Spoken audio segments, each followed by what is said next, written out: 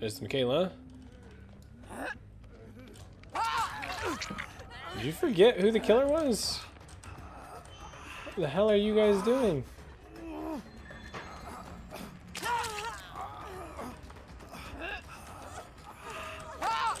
No!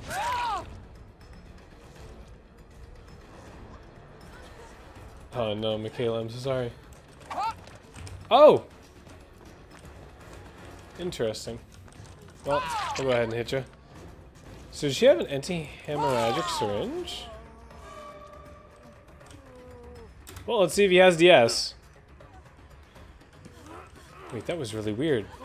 It looked like he healed up. And then I picked him up. Right? I saw a flash like someone had changed the health state. That was so